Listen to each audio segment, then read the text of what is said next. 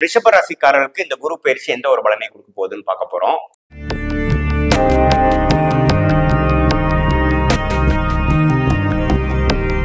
இப்ப பாத்தீங்கன்னா இது வரைக்கும் குரு பன்னெண்டாம் இடத்துல இருந்து ஆறு எட்டு நாலாம் இடத்தை பார்த்து கொண்டிருந்தார். இப்ப பாத்தீங்கன்னா குரு ராசிக்குள்ளேயே வருகிறார். ஏழாம் இடம் சுபத்துமடைகிறது ஐந்தாம் இடம் சுபத்துமடைகிறது பாக்கியஸ்தானம் என்று சொல்லப்படுகிற ஒன்பதாம் இடம் சுபத்துமடைகிறது இது வரைக்கும் வந்து விரயங்களும் வீண் செலவுகளும் குடுக்கல் வாங்கல்ல வந்து அதிருப்திகளும் நிறைய சுப விரயங்களும் சுப இன்வெஸ்ட்மெண்ட்டும் பண்ணிட்டு இருந்த ரிஷபராசிக்காரர்களுக்கு வந்து இப்போ எல்லாமே கொஞ்சம் ஸ்டெபிலைஸ் ஆகக்கூடிய அமைப்பு கண்டிப்பாக வருகிறது. ஏன்னா குரு பன்னெண்டாம் இடத்துல இருந்து கைக்கு வந்தது வாய்க்கு வரவில்லைங்கிற மாதிரி சில விஷயங்கள் பண்ணிட்டு இருந்தேன். நிறைய தொழில் அதிபர்கள்லாம் பார்த்தீங்கன்னா அதிபர் ஒரு எக்ஸ்பென்ஷனுக்காக நிறைய இன்வெஸ்ட் பண்ணிட்டு இருந்தீங்க.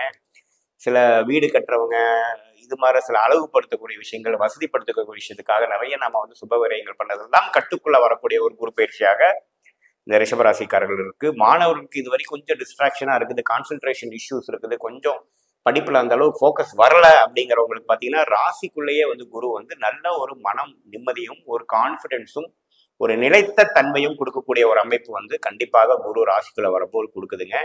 அதே சமயத்தில் சனி பத்தாம் இடத்துல இருக்கிறது வந்து ஒன்றும் தப்பு இல்லை. அதே சமயத்தில் பதினொன்றாம் இடத்துல இருக்கக்கூடிய ராகு இதை ராகு தசை நடக்கும் பொழுது நல்ல லாபத்தை கொடுக்கக்கூடிய அமைப்பு உண்டு. அதே சமயத்தில் இப்போ குரு வந்து ஐந்தாம் இடத்தை பார்ப்பதனால் இது வரைக்கும் சைல்டுக்காக ஒரு குழந்தை பேருக்காக எதிர்பார்த்துட்டு இருந்தவங்க முயற்சி எடுத்துட்டு இருக்கவங்களுக்குலாம் ஒரு நல்ல பலன் கொடுக்கக்கூடிய ஒரு அமைப்பு உண்டு. இல்லற வாழ்க்கையில வந்து இது வரைக்கும் இருந்த கருத்து வேறுபாடுகள்லாம் கொஞ்சம் குறைந்து ஓரளவுக்கு நல்ல அன்பு பாராட்டக்கூடிய ஒரு அமைப்பு கொடுக்குதுங்க. ஒரு தொழில் பண்ணலாம் ஒரு புதிய பார்ட்னர்ஷிப் எதிர்பார்க்குறவங்களுக்குலாம் ஒரு நல்ல அமைப்பு வரக்கூடிய அமைப்புக்கு திடீர்னு ஒரு நபர் வந்து உங்களுக்கு ஒரு நல்ல ஒரு ஆப்பர்ச்சுனிட்டியை கொடுக்கக்கூடிய அமைப்பு.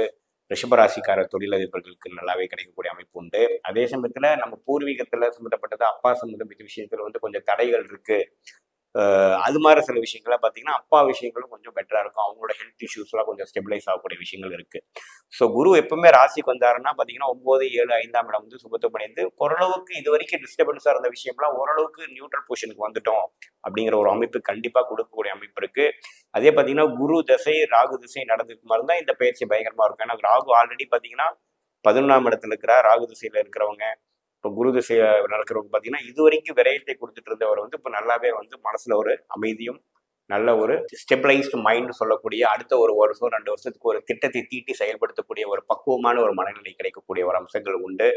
ஸோ இந்த ரிஷபராசிக்காரர்கள் எப்படி பார்த்தாலும் கடந்த ஒரு வருஷ காலம் ரெண்டாயிரத்தி இருபத்தி நாலு ஏப்ரல்லேருந்து இந்த ரெண்டாயிரத்தி இருபத்தி நாலு ஏப்ரல் கம்பேர் பண்ணுறப்போ இது ஒரு ஒரு நல்ல மாற்றத்தை கொடுக்கக்கூடிய ஒரு ஒரு ரிஷபராசி ஒரு அருமையான ஒரு மாற்றத்தை கொடுக்கக்கூடிய ஒரு பயிற்சியாக தான் இருக்கிறது. இது வந்து ஒரு மதிப்பெண் அளவில் சொல்லணும் அப்படின்னு பார்த்தீங்கன்னா நூற்றுக்கு ஒரு எழுபது மதிப்பெண்கள் பெறக்கூடிய ஒரு பலாபலங்களுக்குள்ள ஒரு குரு பயிற்சி பலன்களாக இருக்குதுங்க. இது வந்து ஒரு பொதுவான ஒரு பலன்களை தவிர உங்கள் ஜென்ம ஜாதகத்தில் வந்து எப்படி இருக்குது? உங்களுடைய தசாபுக்திகள் எப்படி இருக்கிறது உங்களோட ஜாதகம் எப்படி இருக்கிறது நீங்கள் என்ன லக்னத்தில் பிறந்தீங்க? அதை பொறுத்து தான் துல்லியமான பலன்கள் எடுக்க முடியும். நம்மளுடைய வீடியோஸ் ஃபஸ்ட் டைம் பார்க்குறவங்க மறக்காம சப்ஸ்கிரைப் பண்ணுங்கள் ஃப்ரெண்ட்ஸ் ரிலேட்டிவ் ஷேர் பண்ணுங்கள் மீண்டும் மற்றொரு காணொலியில் சந்திப்போம். நன்றி. வணக்கம்.